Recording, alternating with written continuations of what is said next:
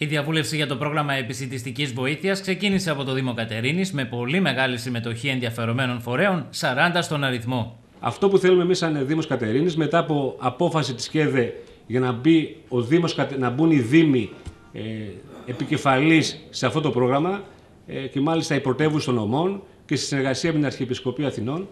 Ε, πιστεύω ότι ο Δήμος Κατερίνης μπαίνει μπροστά, ε, βάζει προτεραιότητα πλέον ε, στην ε, λειτουργία του Δήμου, προτεραιότητα βάζει αυτό το πρόγραμμα και αυτή τη στήριξη όλων των ευπαθών ομάδων.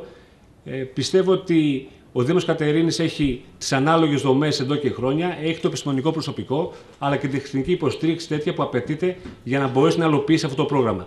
Βέβαια, δεν μπορεί από μόνος του, γιατί όλα τα στοιχεία και όλη την καταγραφή, νομίζω όλοι αυτοί οι φορείς και όλοι οι σύλλογοι μπορεί να μας τη δώσει και την αποδώσει ακόμα καλύτερα. Σύμφωνα με τη διαβούλευση για τη δημιουργία κοινωνικών συμπράξεων, προωθείται η διαδικασία δημιουργίας οργανώσεων εταίρων με κριτήρια επιλογής στο συνδυασμό της βέλτιστης δυνατής εμπειρίας, τη διαχειριστική επάρκεια και την υλοποίηση των πράξεων.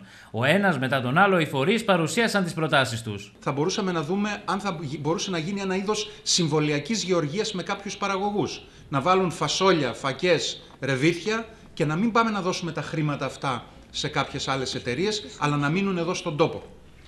Ε, θα κλείσω με κάποιες ερωτήσεις οι οποίες αφορούν την ομάδα μας, την εθελοντική ομάδα. Ε, θα παίξει ρόλο η νομική υπόσταση της... Ε, γιατί υπάρχουν ομάδες που δεν έχουν καμία νομική υπόσταση, όπως εμείς. Ναι, είναι πολύ βασικό, διότι αυτό θα μας αποκλείσει. Α, ωραία. Λοιπόν, ε, επίσης, ε, εμείς είμαστε έτοιμοι.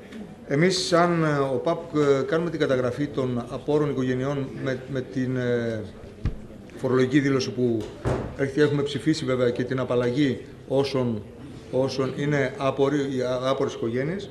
Ε, όσον αφορά τα ΚΑΠΗ από τις κοινωνικές, η κοινωνική λειτουργία κάνουν την καταγραφή των απόρων ηλικιωμένων και των οικογενειών που, που επισκέπτονται τα ΚΑΠΗ και βέβαια δεν μπορούμε να μπούμε σε αυτούς που δεν επισκέπτονται ή δεν έρχονται στην υπηρεσία, δεν μπορούμε να γνωρίζουμε στοιχεία, γι' αυτό είναι και όλοι οι υπόλοιποι σύλλογοι και φορείς ε, που ασχολούνται με αυτά.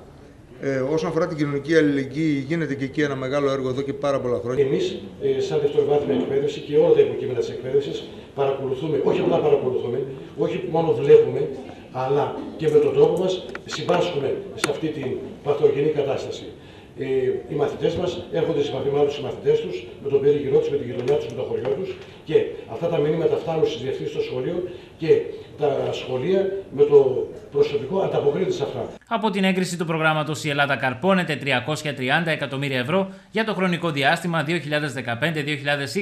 για να αξιοποιηθούν για τη στήριξη των πλέον αδύναμων σε τρόφιμα, βασικά αγαθά και συμβουλευτικές υπηρεσίες.